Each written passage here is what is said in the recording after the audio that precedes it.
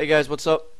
Brownman back again with some more achievements for Madden 2011. In this video, we're going to be tackling four achievements. Yes, the pun was intended. Sackmaster, Home Run, Fantasy Freak, and Mandozer. Now this year, I'm going to make a whole bunch of shorter videos, as opposed to last year when I made like four really long ones. Since doing it this way, I could upload videos faster, and you can look for the achievements you need much easier than shuffling through like the eight or nine achievements I threw in one video.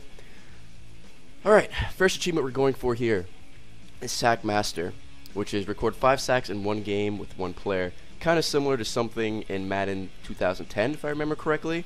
But um, just make sure before you start the game, teams don't really matter, but make sure you have your settings, go to penalties, and turn offsides all the way down. It's going to make this achievement a joke, really.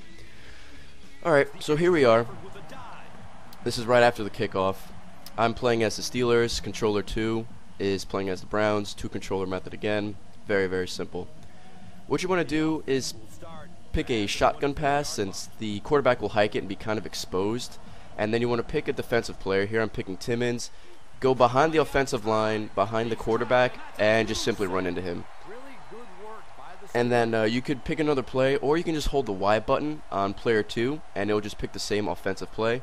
So once again, realign Timmons, my defensive player, get behind him, and boom. So that's two, and it's very simple. This is uh, a little bit later in the game here. This is number five, I believe. Yep, so as you can see, same thing, lined up all by myself, and boom, tackled. That's number five. Now, to unlock the achievement, it doesn't unlock right away. You have to quit the game. I didn't know that, so like a noob, I cut my recording. So just to show you in my next video here, before I even do anything, I'm going to open up my guide and show you that I have unlocked the achievement. It's right there. So once you reach 5 sacks, you can simply just leave the game and your achievement will pop. Alright, next three achievements we're going for are Home Run, which is to break an 80-yard run, Fantasy Freak, which is to rush for over 200 yards, and Mandozer, which is rush for 50 yards after your first hit. Now, the best running back in this game is Chris Johnson, and he is on the Tennessee Titans. So pick them. I picked the Lions to make things a little bit easier. Same settings as before. Now, in regards to home run, which is to break the 80-yard run, 80-yard touchdown run, excuse me, the footage kind of got corrupted. So what I'm going to show you here is not the exact run I used, but the same strategy. So I'm picking a, a, a running play. It doesn't really matter. On defense, I'm picking, I think it was a punt return or a field goal block. Once again, settings are the same. Un unlimited rewind. Toss the ball to Chris Johnson, and you pretty much have an open field. You got to like dodge one guy, which isn't that bad, and you just pretty much run it in. Now, if as you can see in the bottom right hand corner, I was on my own 36 yard line, so the run wasn't 80 yards. You have to make sure that arrow is pointing down and it's at least 20 yards or fewer, because that would indicate the run will be at least 80 yards. So simply do that, kick the field goal, and that achievement will unlock as soon as you get it. So as soon as you get that, achievement unlocks, home run. Like I said, footage got corrupted. My apologies on that one. Also have unlimited rewind, so if you get tackled or something earlier on, you could um you can keep uh, you could try again.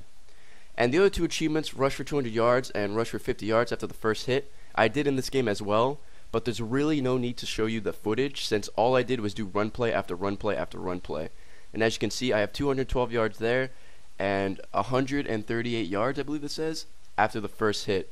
If you wanna if you wanna look back at the um, the run I just showed you, uh, yards after the first hit is when the defenseman like tries to tackle you and fails miserably, and you just keep running. So as you saw there, I had um, more than 100, uh, more than 50 yards after the first hit, more than 200 yards. So once you do that, you just quit the game, and both your achievements will unlock, as you'll see right here. Uh, there they go. So two achievements for 50 gamer score.